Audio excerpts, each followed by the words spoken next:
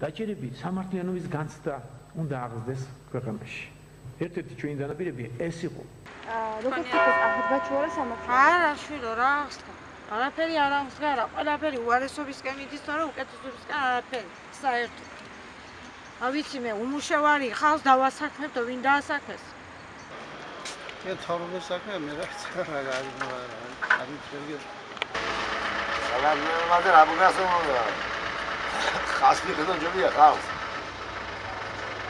ზამ და ვარ სამადა რიგი რგასე პაზულა ხასო მიხდა და აიდო და იმ დღიდან აღდგა სამართლიანო ხო და რაში გამოიხატება სამართლიანობა? მოიხატა იმ დღიდან რომ სააკაშვილი გადაარია აა კიდევ მარტო ყველაფერი დამძაბა ჩვენი გავხსნებთ კიდევ ორი წელიწადი ისინი რომ წავიდნენ. არის, არის შენ როგორ ფიქრობ? არა, მე თქვენი აზრი მაინტერესებს თორე ეს. ლანა, გასკითხავი და მომწინა ხელისუფლებამ რო დაგვიზიანა ის ახალ ხელისუფლებასთან მივედით მაგრამ იქ ისეთი რაღაცები გითხრან, მაგრამ ჩვენ ვერ შევძლებთ თანხებთან და ისინი ჯერ ახალი მოსულები არიან.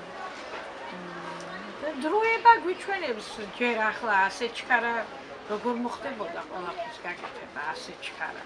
ბევრი რამეები აღსკა. მაგალითად, სასკოლო პერიოდს დაუკავშიროთ, ბავშვებს ციგნები ფასობრივი ეცემა. მე მე ამ მაღაზიის მე პატრონი ვარ. ჯარიმა პირველად 500 ლარი იყო. მე ეს 200 ლარამდე მოუყვანა. განაცუდი შიშის ზარი ფონდა. ეს შიშის ზარი გაქრა, არა გვაქვს. და როგორ არა?